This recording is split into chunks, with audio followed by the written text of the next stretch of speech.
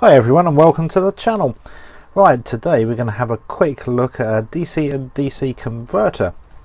I purchased this off of eBay uh, off a seller called Margie17. Uh, she's in, or he is in the UK, and it came within a couple of days. Uh, it was a grand total of £2.37 now I actually want this for a, project where I'm using a, a single cell LiPo uh, which is about 4 volts but I need about 10-11 volts and I didn't want to use a multiple cell LiPo. I actually want to use an 18650 for this project which will be coming up soon so I thought I'll try one of these. As you see I haven't even opened it yet so that's what we're going to do today was we're going to open it up, connect it up and see what we get. Alright, it's quite a small module. It's uh, about 15, uh, I would say 15 millimeters by 30 millimeters.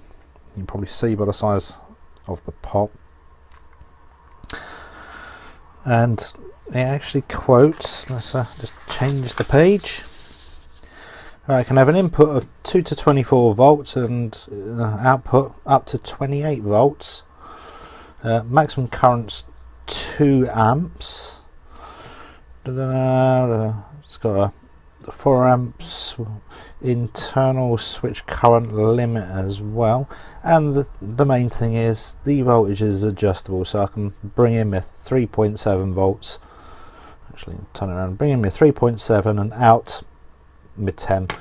They're quoting it's 97% efficient. Uh, yeah, I know these things are efficient, but uh, yeah, don't think you're going to be anywhere near that. I reckon probably more like 90, but I think buy it for its efficiency. Right, let me just get some wires on this and I'll get back to you. Right, we're back. Hopefully the uh, noise of the fan from uh, the homemade power supply doesn't interrupt too much. Just tack some wires on, if you can see that, into my power supply. Right, let's set the voltage uh, it's on 2 volts at the moment. But uh, I'm going to set that to 3.7 which is like the nominal I will get used to this. 3.7 which is like the nominal voltage for uh, an 18650 right, let's set the current up. Uh, let's put an amp. That'll do and that Okay, right, let's hit the on. May smoke. Okay. Nothing's smoking at the moment. Let's get my meter. Right, what are we putting in? 3.7 we're putting in. And what's coming out? Let's get my leads around the right way. What's coming out? Oh, there's 20 volts coming out now. I need to adjust that down to 10. Let me uh, uh,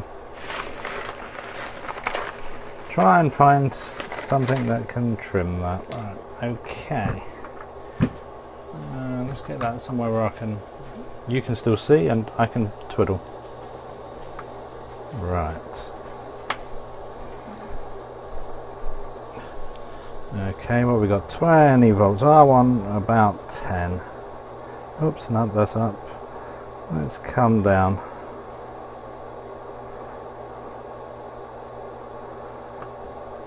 Okay, that's about 10. Alright, let's see what happens if we actually increase the voltage. Alright.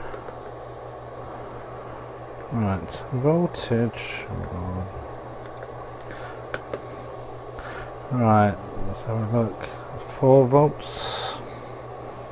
Let's do 4.2 because that's like a charged single cell. And yeah, we're, so we haven't altered on the output, so that's ideal. I can have me. Let's turn that off. Let, I can have a